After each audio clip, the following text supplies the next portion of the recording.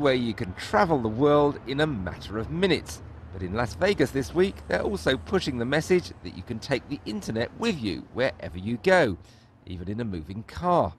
The main purpose of the product is to keep kids occupied while they're in the backseat on long trips with parents.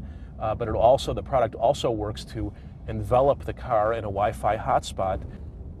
The internet's arriving in this car via a mobile phone signal. It means parents can surf the web while their children watch live TV.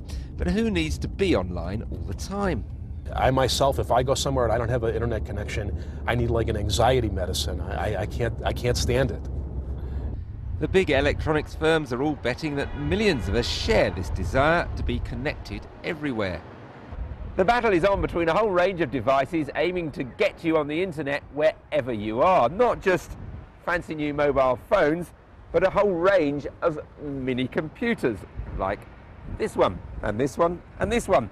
There's also a battle between the different wireless technologies which will put you on the internet.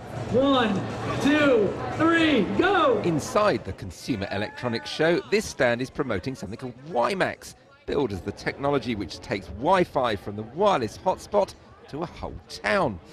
Many devices which use WiMAX are now coming out, but customers could be confused.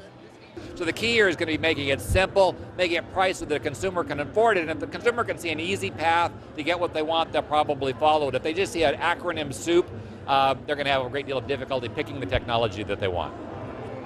Wi-Fi, WiMAX, 3G, the mobile internet is full of those bewildering acronyms and surfing on the move can be a very expensive hobby. So it may be a while yet before more of us take it for granted that we can get online anytime, anywhere. Rory Cellan Jones, BBC News, Las Vegas.